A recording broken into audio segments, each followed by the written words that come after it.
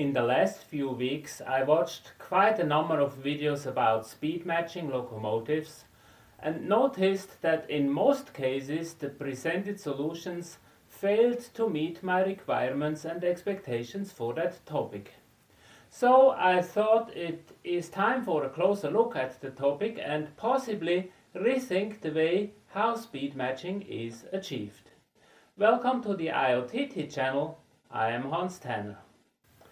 Most of the speed matching videos I have seen, and I list some of those in the description below, fall in one of these three categories. First, videos that explain how to use software like Decoder Pro to program some configuration variables like minimum, medium and maximum speed or an entire speed table.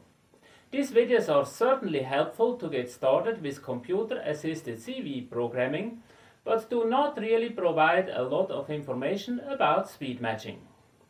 Second, videos that explain how to use the decoder configuration variables to adjust the speed settings of two locomotives in a way that their speed curves match each other so that it is easier to use them in a consist. This is what I would call the technical form of speed matching and it is really what most speed matching videos are dealing with. And third, videos that aim at setting the configuration variables in a way that the resulting speed of a particular throttle position corresponds to a predictable scale speed. Something like set your throttle to 50% and you know your locomotive is going with a scale speed of about 40 miles per hour. That is what I like to call speed matching with operations in mind. And it is obvious that if you do that successfully for all locomotives on your roster, you automatically solve any technical consisting issues as well. So speed matching has a technical and an operational aspect. And this brought up two questions I wanted to have answers for. First, how relevant is technical speed matching for a reliable multi-unit operation? And second, what is the most efficient way to calibrate a locomotive to a predictable scale speed? Here is what I found. To answer the first question, I did a quite extensive series of tests measuring pulling forces and speeds on the various load conditions and track configurations. I really hoped that would make for an interesting video, but while working on it, I realized that it would be pretty boring to watch. So I jumped straight to the conclusions, which are pretty much in line with what you find in many other videos that deal with technical aspects of speed matching. First, configuring locomotives that operate in a consist to a similar no-load speed is generally a good idea. Second, Thanks to the load adapting characteristics of the DC motors usually used in model locomotives, the tolerance window is rather large. If two locomotives are running at approximately the same speed, it is good enough. And third, special attention should be given to locomotives with load adjusted motor output, for example back EMF.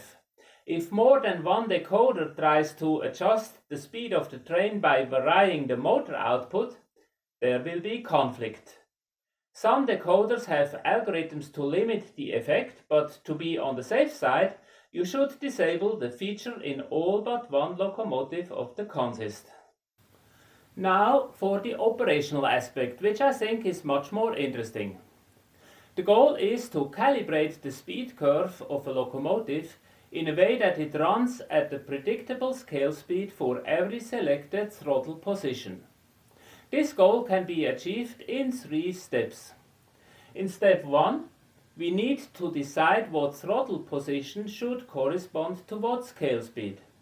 A Digitrax throttle, for example, displays the speed level as percentage of full speed from 0 to 99. One possibility therefore is to interpret the display directly as miles per hour, which gives a speed range from 0 to 99 and makes it very easy for an operator to observe speed limits. Of course, you can use different conversion formulas depending on the top speed of your locomotive and the display provided on your throttle. And of course, it is also a possibility to have several active speed profiles, for example, one for freight trains, another one for passenger trains, and so on. Step 2 then is to measure the physical speed of the locomotive for each speed step and determine what scale speed it corresponds to. This can be done the traditional way using a tape measure and a stopwatch, or you can use a speed measuring device such as this speed tunnel that directly display the scale speed. And if you now think that is way too complicated and too much work, you are not alone. But hold on, I will show you a simpler way of doing it in just a minute. Once the speed step to scale ratio is known, it is relatively simple to program the decoder speed table in step 3. All we have to do is setting the motor output of each speed step so that the locomotive moves with the desired target scale speed. So essentially it is merging the throttle profile from step 1 with the technical speed characteristics from step 2 and then program the target values into the decoder. If you have watched video number 88, you probably remember that I mentioned a new feature I am working on for the Purple Hat sensor, which is called Speed Magic. Essentially, it is the implementation of the above workflow and here I give you a quick preview and demonstration of the part that is already working. In the first section of the Speed Magic page, you can import the current decoder information and CV settings from your JMRI Decoder Pro locomotive roster. And you can also store it back to the roster after altering the speed table. If you are not using JMRI rosters, never mind, this step is optional. The second part lets you define a throttle profile, so step 1 in the workflow I just explained. You can define the maximum scale speed and the number of speed steps your throttle provides, and then use the mouse to define a throttle speed curve, defining what scale speed you want to have for each throttle setting. You also can save the settings to a file and reload it so that you can have several predefined throttle profiles. The third section can do the technical speed analysis of the locomotive. And this part is already working, so let me show you. First, you place the locomotive you want to calibrate together with the Purple Hat measuring car on the track. Ideally, you choose a flat, straight section so that the measured speed is not influenced by grades and curves. Other than that, you can choose any track. There are no requirements for sensors or the like, as all the measurement and control functions are done by the Purple Hat sensor. Make sure the locomotive is set to the direction the speed test is about to start. The orientation of the Purple Hat car, on the other hand, does not matter. Click Assign DCC address and turn the throttle knob to tell the sensor what address you want to calibrate. Then enter the length of the track section the sensor is allowed to use for speed testing. The longer it is, the fewer runs the locomotive will have to make until all speed steps are measured. On N scale, as demonstrated here, meaningful lengths start at about 1 meter, which is 40 inches. For this demonstration, I select 1.5 meters or 150 centimeters. In the next field you enter the maximum scale speed the locomotive is allowed to go. Most model locomotives can go faster than the corresponding prototype scale speed, but if you want to limit the speed to prototype scale speed, then there is no need to test all 128 decoder steps, but Purple Hat can stop testing when 110% of the indicated maximum speed is detected. On the other hand, if you want to make sure that Purple Hat measures the scale speed of all 128 speed steps, simply enter an unreasonably high maximum value and Purple Hat will go to the limits of the decoder. When done, click Start Test and watch Purple Hat doing its thing. First, there is not much going on as it starts with measuring the speed for the lowest speed steps. Many locomotives have no movement at all. The sensor is programmed to calculate the speed based on travel distance and time, either after 8 seconds or 5 turns of the axle, whatever comes first. With hardly any movement, of course, it is the timeout that defines the test time for each step. At higher speeds, it will be the number of turns, therefore, the time for each speed step will be shorter. On the throttle, you always see the current speed step updated and you also will hear a short beep from the throttle every time a new speed is set.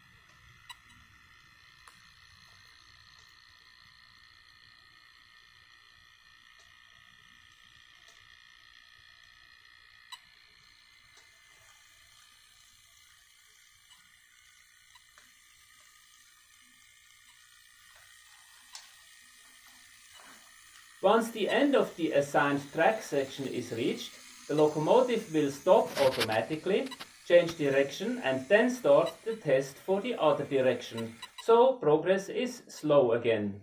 Purple Hat does a full speed measurement for forward and backward and provides two speed curves at the end of the test. It therefore should be possible to automatically calculate forward and backward trim values so that any differences in forward and backward speed can be compensated. But that is a feature I am still working on.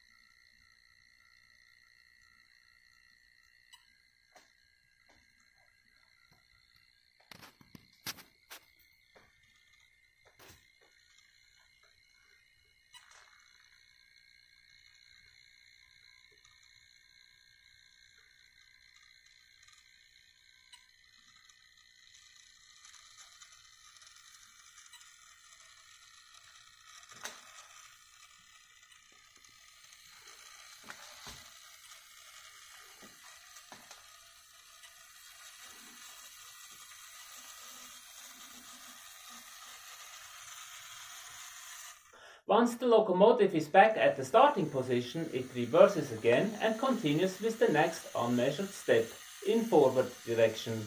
And so on. It keeps repeating going back and forth with increasingly higher speeds until it reaches speed step 128 or the indicated maximum speed plus 10% in both directions.